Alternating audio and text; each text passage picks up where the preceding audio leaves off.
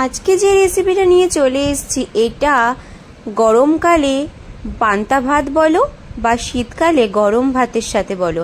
খেতে ভারী দারুণ লাগে আর তেমনি সুস্বাদু। আর এই রেসিপিটা বানাতে খুব বেশি কিছু লাগে না। তো চলো আজকে রেসিপিটা বানাতে কি কি লাগে তোমাদের সাথে শেয়ার করে ফেলি।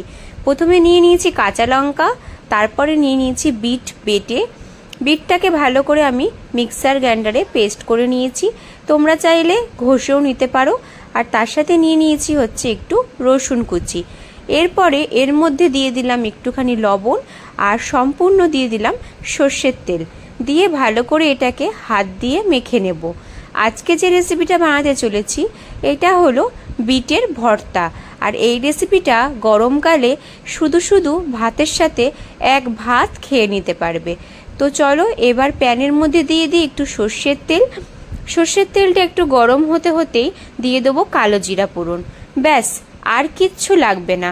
এরপর দিয়ে দেবো কালো জিরাটা ফুটলে পরে এর মধ্যে দিয়ে দেবো বিট বাটাটা।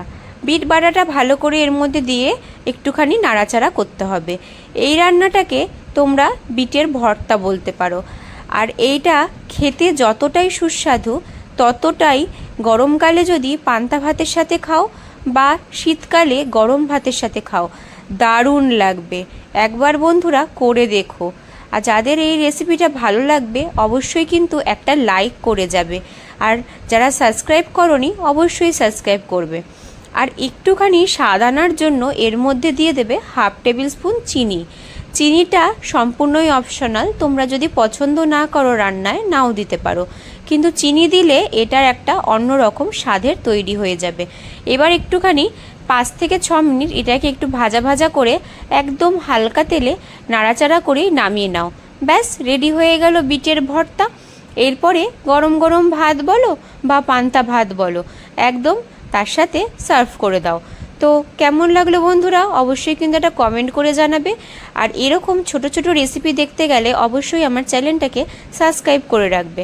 যারা এখনও সাবস্ক্রাইব করনি, তারা অবশ্যই সাবস্ক্রাইব করে পাশে থাকবে। ধন্যবাদ বন্ধুরা।